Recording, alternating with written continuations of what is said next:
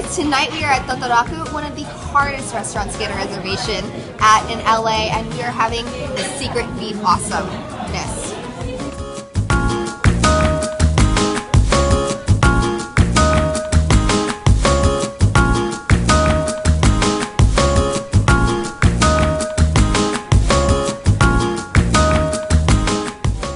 So you won't believe what we've eaten just now. We've had so much to eat, I had to make a list. Um, we've had skirt steak, short rib, outside ribeye, inside ribeye, filet mignon, beef tongue, beef throat, carpaccio, and beef tataki.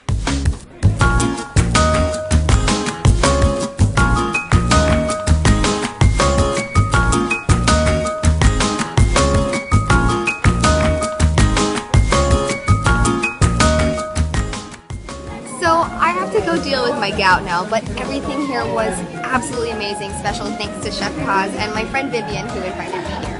Bye guys!